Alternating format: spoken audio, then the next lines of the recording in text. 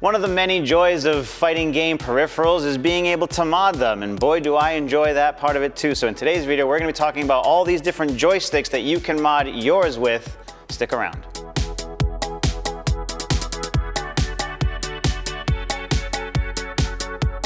Welcome back Button Club members to another review video here on the channel. I hope you all are doing well. I just want to say thank you again for all the love, positivity that you've been giving the channel so far in your likes, views, comments. Don't forget to share these videos with people that you think that might be interested to help grow this channel to almost a thousand subs. Let's get us there. In today's video, we are going to be talking about levers, particularly Japanese levers, and some of the small time options that are available for you today, okay? So what I have here in my hands in the center of this table, ever so loved Sanwa JLF. This thing is renowned for its modding abilities with different actuators, springs, and gates.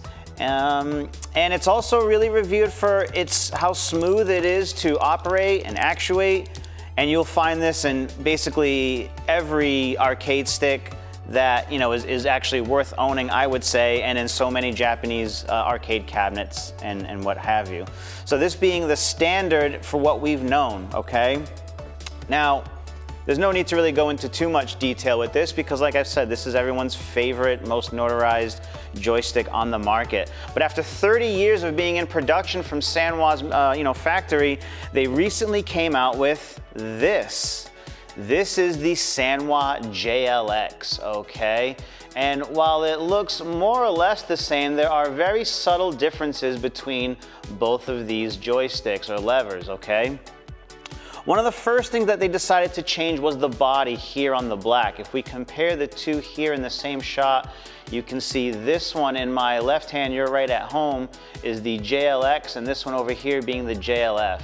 So the body construction has been changed, okay? You can see that there's a lot more body on this one than there is on the JLF here, okay? One of the other main differences is not only that there is more body here for stability and rigidity, but also the, uh, the plastic compound that makes this up is a lot more solid, okay? And then one of the other things that it offers is this white actuator here. This white actuator is available with the Sanwa upgrade kit that you can buy, which will come with several different actuators and springs. This is only slightly larger than the black actuator that comes on the JLF, like ever so slightly larger, okay? Uh, what that is going to do is that is going to shorten the time or the distance that the stick has to travel in order to actuate onto those contacts within the, the, uh, the lever, okay? And like I said, it's only a little bit bigger in here, so the difference is almost not really noticeable. So when the Sanwa JLX came out, we were very excited because like I said, after 30 years of this being the standard, Sanwa finally decided to make some small improvements on the joystick. So we picked one of these up, myself, and shout outs to Tomlet, Button Club uh, member and one of our favorite random select players and Dhalsim players. So we both picked up one of these and put it in our current arcade sticks and he was very unimpressed, okay? He said that the differences were extremely minimal, okay? And I would have to agree with him. Had I not known that I had just replaced the JLF with the JLX, I might not have even noticed anything, okay? Knowing that I did switch it out, I did find it to be what they said. I did find it to be a little more rigid when we were actuating and hitting against the gate. I thought that that felt a little more solid compared to the JLF. And I also did find it ever so slightly smoother uh, here at the pivot point, okay? But if this, if the Sanwa JLF is, is the standard, right? Let's say, you know, not that these are official grades, right? But let's just talk about point value and how much better this is. If this is a four, the JLF is a four, I think the JLX is like a 4.2 or something, okay? It's just ever so slightly better. The price difference is super minimal, so I don't feel like you need to have a JLX or feel like, well, I just bought a brand new arcade stick and it comes with the JLF and I, I, better upgrade to the JLX real quick because it is so much better. I don't really think that's super necessary, especially if what you just purchased comes with a brand new JLF. There's nothing wrong with either one of these, but I think when you are purchasing something you kind of want to feel a difference, right? With that being said, maybe their intention was to not stray too far off the road of what the JLF is, okay? I do believe that if the JLX came out and was significantly different than the previous JLF, people might not like it. People might say, no, this is too different, this is too off-brand, I don't like it, uh, I think I'll just stick with you know the JLF and then this would, the, the, the JLX would get completely skipped over. So in that sense, I do understand why they didn't make a huge drastic change into the JLX. But when you're buying something, like I said, you kind of want to really, really feel the difference. And I just don't know how well this hits the mark on the difference between this and the JLF, okay? A little smoother, a little more rigid. At the end of the day, nothing really to write home about, okay? So what do you do in this situation? You're looking to really make a big difference, a big change in your current arcade stick setup. What's the best thing to do? You're completely torn, right? Well, I'd like to also show you this next product. This product has been out for a little while now, and I've actually had this purchased before we even had the JLX.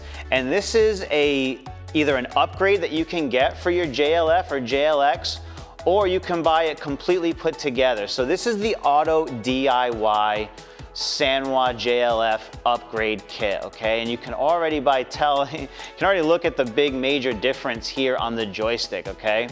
Now it's not just white for aesthetic purposes, okay?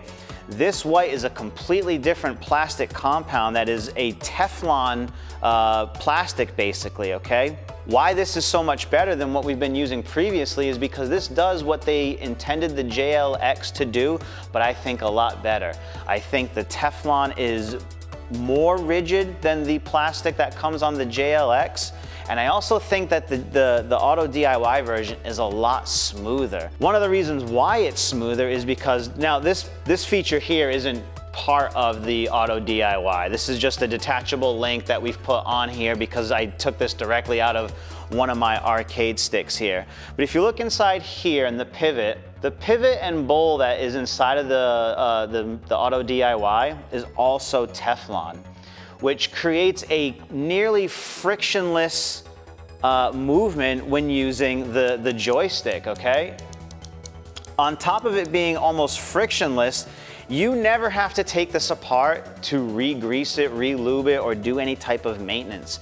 Because it's Teflon on Teflon, it'll stay forever smooth and you'll never work out the pivot to the point where that grease has broken down or worn out or dried up after all these years. So the maintenance on the Otto DIY upgrade is minimal if anything, okay? What's also really cool about the Otto DIY version is that if you really wanted to, you could pick up a, um, a steel bowl for the pivot to sit into, okay? Which this one actually has, okay? So it's not Teflon on Teflon like I mentioned in this one, in this one in particular. This one is Teflon on a uh, steel bowl, okay? So that I think mimics slightly more to the Sanwa JLF feel. It has a little more drag to it. I actually prefer the Teflon on Teflon version of the Otto DIY and I think that's so much better. And like we said, the, the Teflon plastic over here, because like you really have to take this thing apart in order to um, get the, uh, the, the new Otto DIY version on there. Uh, but like I also said, you can also buy it complete. So the Otto DIY comes in at like $30. We picked this up for 30 bucks on arcadeshock.com if you want just the upgrade kit.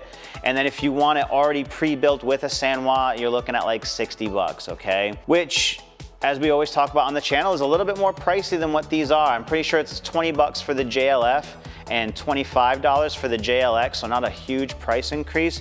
This is a lot more of a price increase, but I feel that the quality is night and day. You've all been on the channel with us for a little bit, so you know that we've been uh, really in love with our Victrix Pro FS, and you know that came with the Sanwa JLF.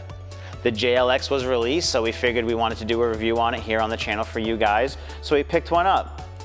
After a few weeks of using it, I'm like, man, this still just really isn't hitting the way I feel like it should. It's, it's just not a major, major upgrade. So I pulled one of these out of an existing arcade stick that I had and put it into the, uh, the Victrix and I was like, yeah, this is it. This is the smoothness, the, uh, the, the free movability that I was really looking for is all available here on the Otto DIY, okay? Now, when you pick these up, what's also really cool is it comes with um, several gates, okay? It comes with a square gate, an octagon gate, which is pretty standard. And then what I have on here, if you wanna zoom back in, this is called a squircle gate, okay? This is what they've named it, squircle. And basically what it is, it's the classic square gate, but with rounded edges. So it's a lot smoother to transition with your um, you know, your fireballs, your half circles and everything like that. It's a little bit easier and smoother to wrench around rather than hitting more sharper 90 degree corners in the square gate, okay? Um, so yeah, if you're looking for, this is kind of like a good blend of square and octagon in all honesty, because it's smooth, but yet you still keep the actuation of your cardinal directions the same distance rather than, you know, octagon gate, everything is the same distance, but a lot further away. Speaking of further away, when you purchase the Otto DIY edition, it comes with three different actuators. Um, each one larger than the last, and the smallest one is actually larger than a one millimeter jump from the standard um, actuator that comes on your JLF, okay? That is my biggest complaint about the Otto DIY setup, okay? It's my least favorite actuators. Those actuators never stay in. The smallest actuator that it comes with feels enormous and I feel like it just has to just twitch a little bit and it's already actuated. Um, and I kind of just didn't like that. When you are rocking an octagon gate, I would find that even their smallest oversized actuator would initiate the contact before the actuator was fully into the, um, the groove or the indentation that is uh, part of the gate. So it kind of felt a little false and the timing was a little different when I thought I was you know, let's say doing quarter circle back, I'm actually all the way fully to back before I feel the groove of the gate. Uh, I hope that makes sense, you know? So while I was enjoying the Otto DIY setup, I ended up just using the Kowal oversized actuator on the inside, the one millimeter.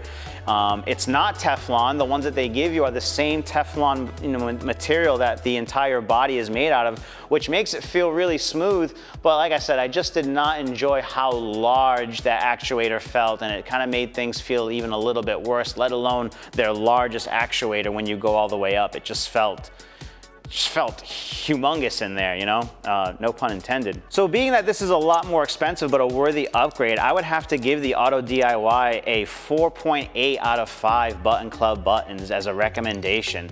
If you are looking to upgrade your, your, the feel of your joystick currently, maybe you've had one that's all worn out, maybe you just wanna try something different, I think the Otto DIY is gonna give you everything that you need and then some. It comes with a lot of options. It feels a whole lot smoother than even the, you know, the, the new Sanwa JLX. And it's not really breaking the bank for what it is. You know, if you look at the price of some of the Korean levers or, uh, or other things that are on the option, uh, you know, that you could pick up. I think the Otto DIY actually does everything it's supposed to and, and feels really, really comfortable. And I would highly recommend it. There's still one currently in my Victrix Pro Fight Stick.